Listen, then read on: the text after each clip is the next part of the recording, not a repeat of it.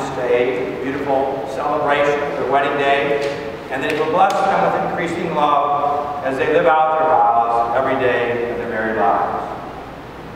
Let us pray. Grant me, pray, Almighty God, these your servants, now to be joined in the sacrament of matrimony. May grow in the faith they profess and enrich your church with faithful offspring. We pray this through Christ our Lord. Amen. Now please be seated for the scripture readings.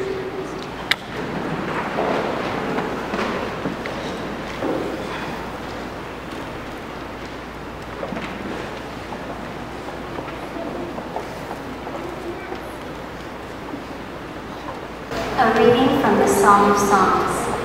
Hark, my lover, here he comes, springing across the mountains, leaping across the hills. My lover is like a gazelle or a young stag. Here he stands behind our wall, gazing through the windows, peering through the lattices. My lover speaks and he says to me, Arise, my beloved, my dove, my beautiful one, and come. O my dove, in the clefts of the rock, in the secret recesses of the cliff, let me see you, let me hear your voice, for your voice is sweet and you are lovely. My lover belongs to me and I to him. He says to me, Set me as a seal on your heart, as a seal on your arm. For stern as death is love, re- relentless as the netherworld is devotion. Its flames are a blazing fire. Deep waters cannot quench love, nor floods sweep it away. The word of the Lord. Thanks be to God.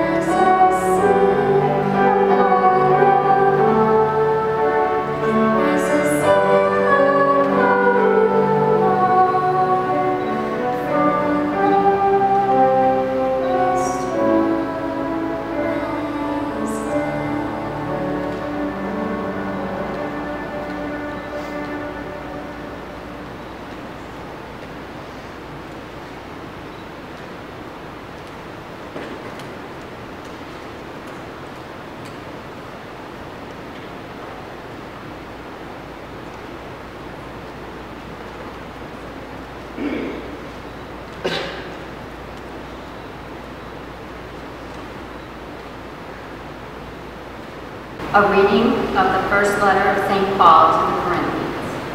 Brothers and sisters, strive eagerly for the greatest spiritual gifts, but I shall show you a still more excellent way. If I speak in human and angelic tongues, but do not have love, I am a resounding gong or clashing cymbal.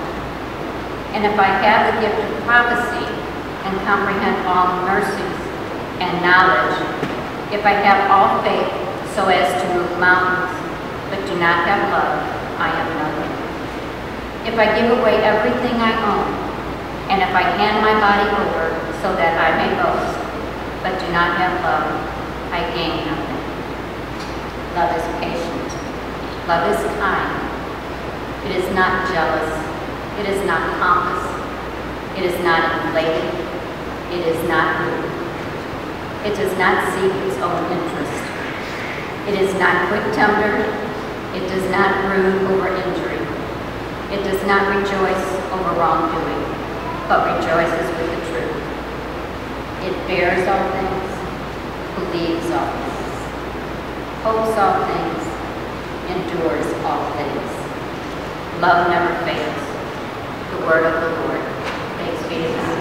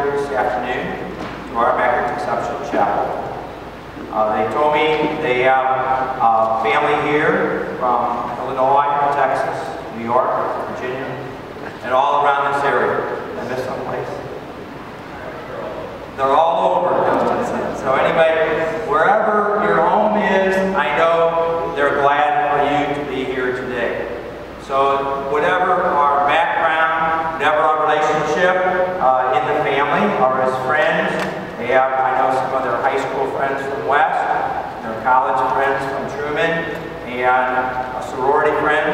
So whatever your relationship to this bride and groom, we're all here today united in love for this bride and groom. They picked some very beautiful scripture readings to help us reflect upon the sacrament of matrimony, they celebrate with each other here today. That first scripture from the Old Testament, the Song of Songs, is a very romantic reading. It expresses the passion of love uh, with the images of gazelle and a dove. It also relates to God's relationship to his people. It teaches us about unconditional love, passionate love, romantic love. Uh, anybody who knows this couple knows the depth of their romantic love for each other. You can tell by the way that they look at one another and the way that they talk about one another and the way they have nurtured their relationship to each other the many years that they have already known each other in their young lives. One particular phrase in that passage they told me they liked is, I belong to you, you belong to me. And they, they know that this, what the scripture is teaching us is about the passion of love. You know, the root of that word, uh, passio, has a twofold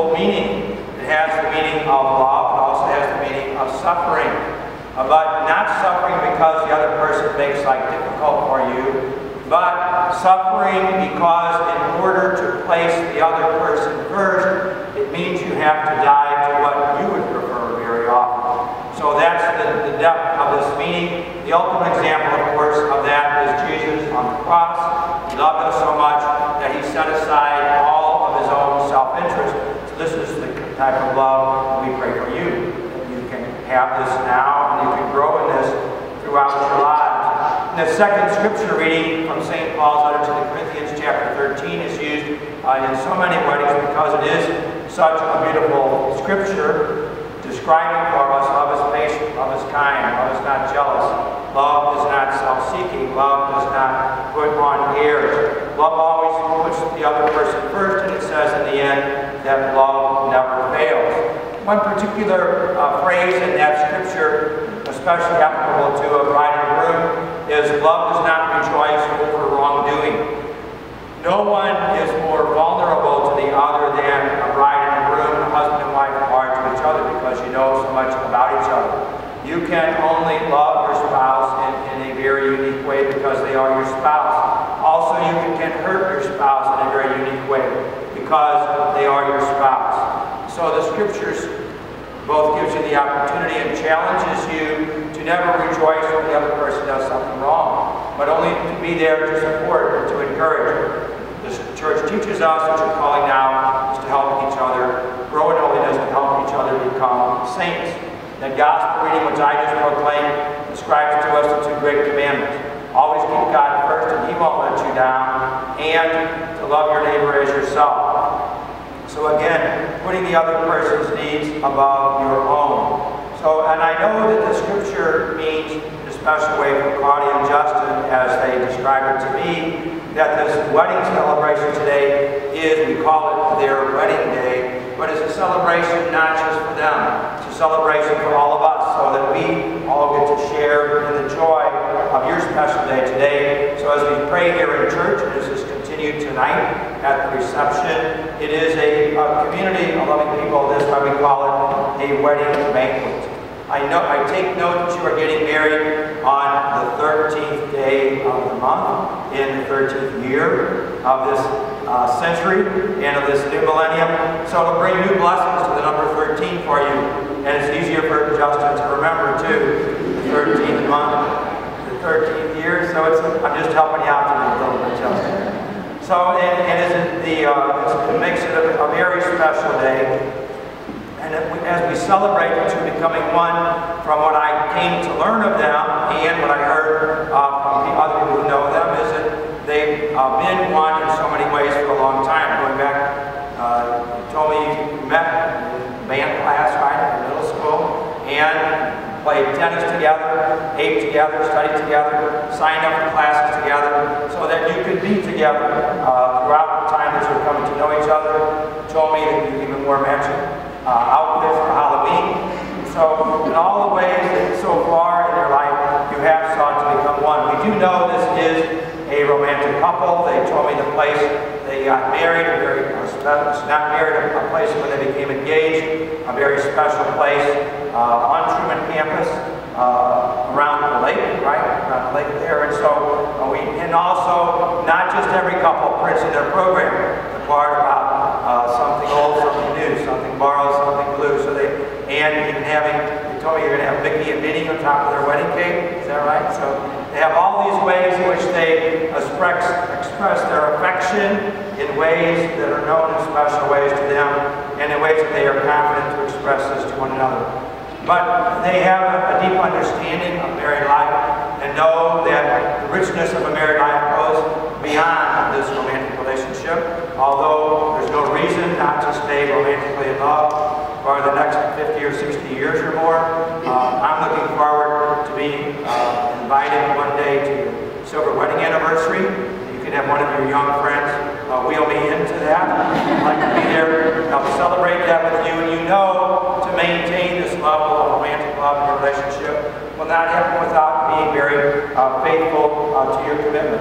I have uh, confidence that you will continue to grow in the ways that you need to die to self love in one another. You have beautiful examples in your parents have stayed faithful uh, to their marriage vows. You had great instructions from a wonderful couple in our parish, Mark and Alicia, uh, who witnessed to you the richness of their own married life.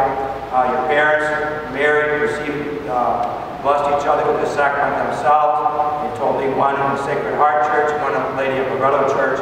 So you have these great examples of marital commitment. I'm confident that you can do it too.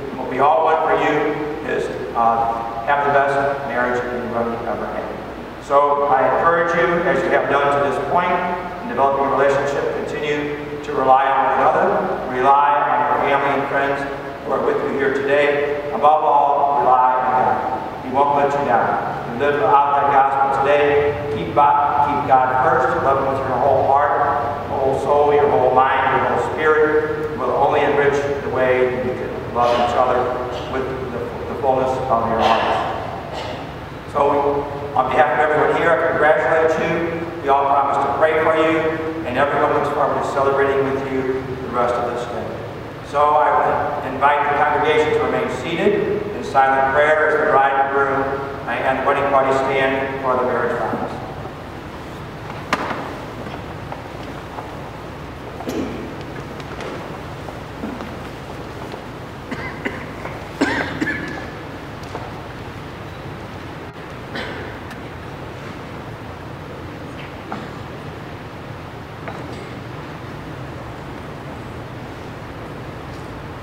My dear friends, you have come together in this church so the Lord may seal and strengthen your love in the presence of the church's minister and its community.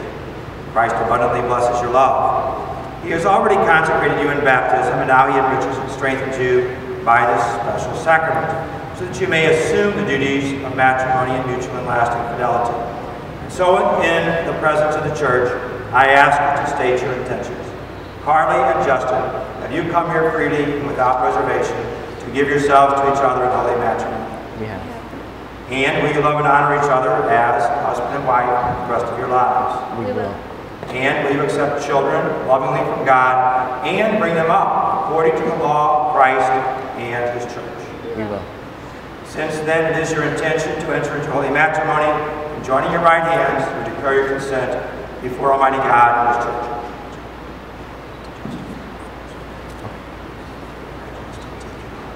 I, Justin, take you, Carly, to be my wife. I promise to be true to you in good times and in bad, in sickness and in health. I will love you and honor you all the days of my life. I, Carly, take you, Justin, to be my husband. Promise to be true to you in good times and in bad, in sickness and in health. I will love you and honor you all the days of my life. You have then declared your consent before Almighty God and His church. May the Lord in His goodness strengthen your consent and fill you both with His blessings. God has joined men must not divide. Amen.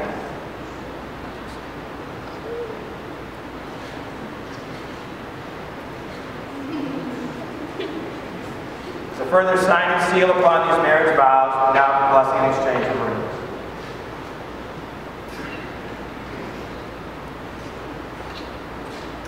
Lord, bless and consecrate Carly and Justin in love for each other.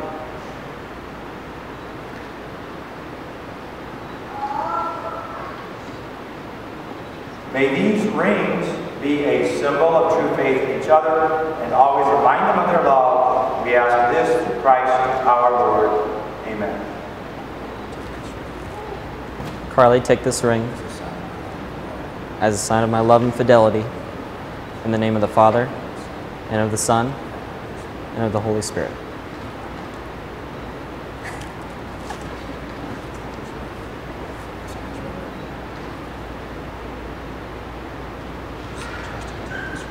Justin, take this ring as a sign of my love and fidelity.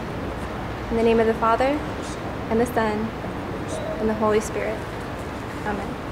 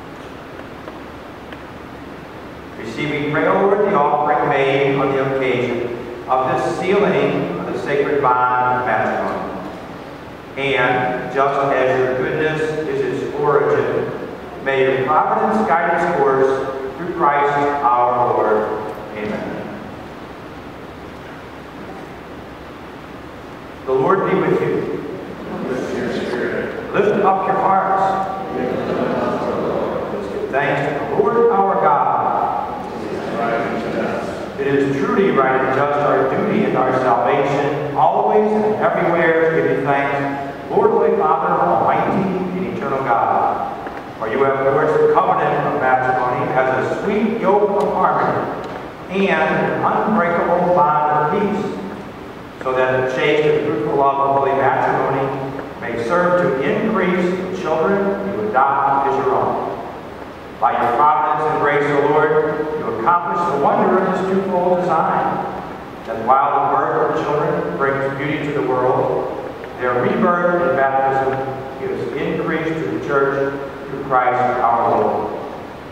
Through him, the angelic, with the angels and all the saints, we sing hymn of your praise, as without end we acclaim.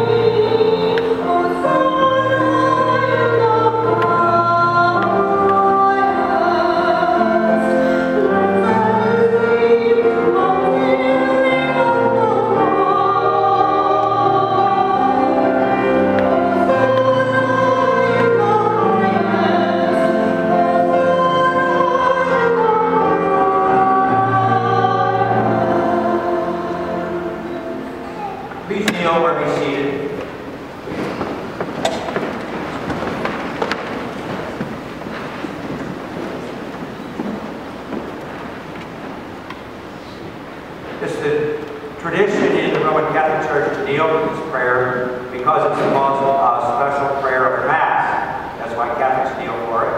In this prayer, we tell the story of Jesus the night before he died, telling his apostles he was going to give up his life for them. And so it's a very beautiful reminder of what self-sacrificial love means. So that's what we celebrate every time we have Mass. And I pray in a special way today with all of you that this bride and groom may always keep this self-sacrificial love of Jesus Christ in their own hearts, and they may learn to share more richly with each other each and every day. You are indeed holy, O Lord, the fountain of all holiness. Make holy therefore these gifts, we pray, by sending down your Spirit upon them like the dewfall, so they may become for us the body and blood of our Lord Jesus Christ. At the time he was betrayed and entered willingly into his passion, he took bread and giving thanks, broke it, gave it to his disciples, saying, Take this, all of you, and eat of it, for this is my body, which will be given up for you.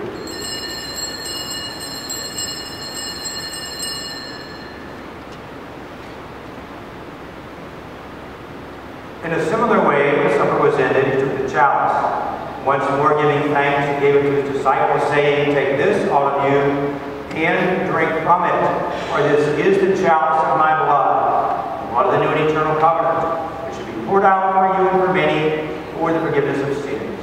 Do this in memory of me.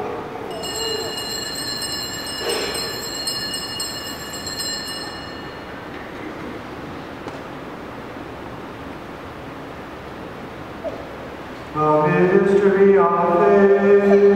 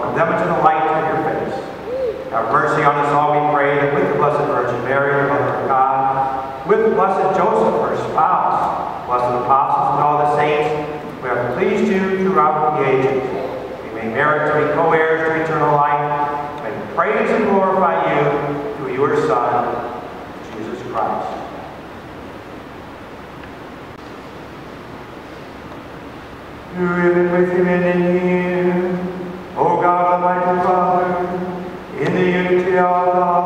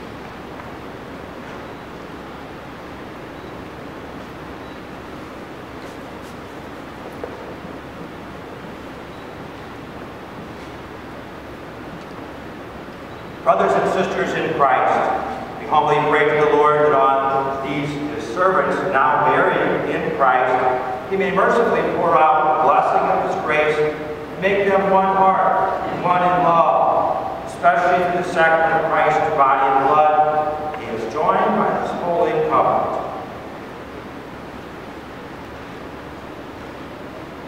God, by your mighty power, created all things out of nothing.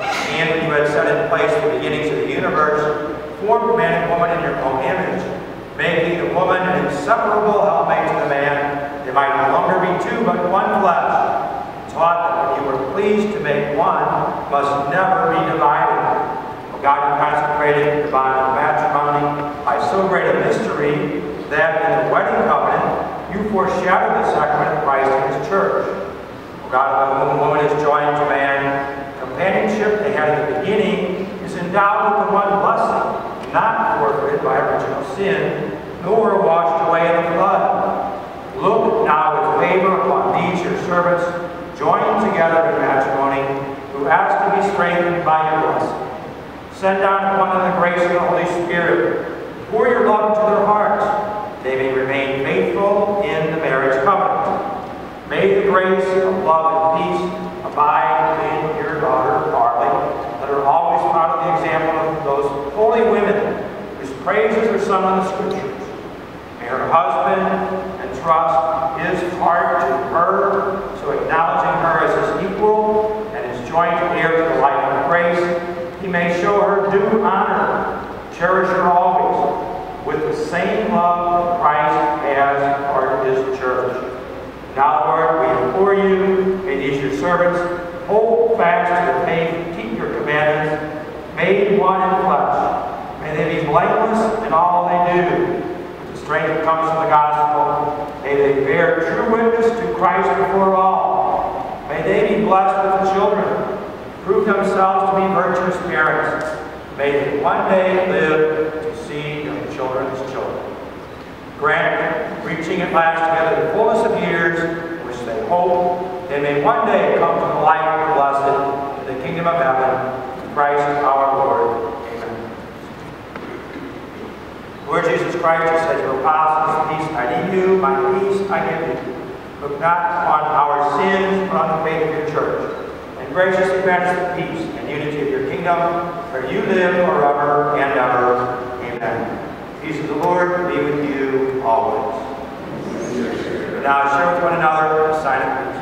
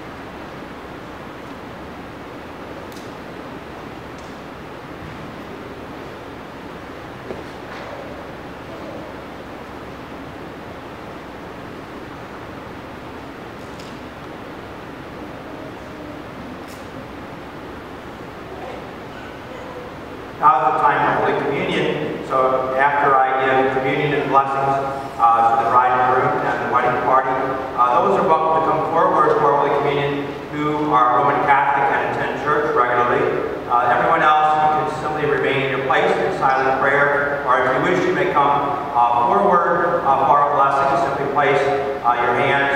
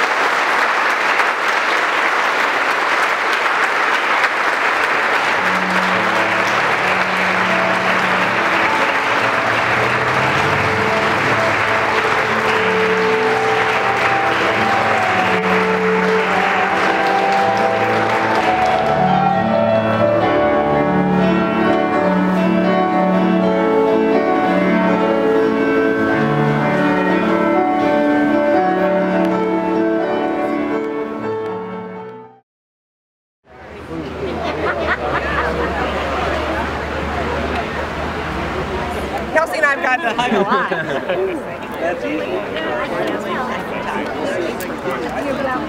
We'll pick you up tonight, yeah?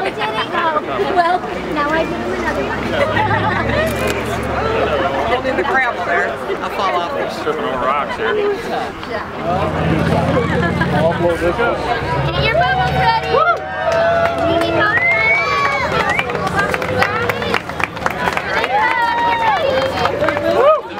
bubbles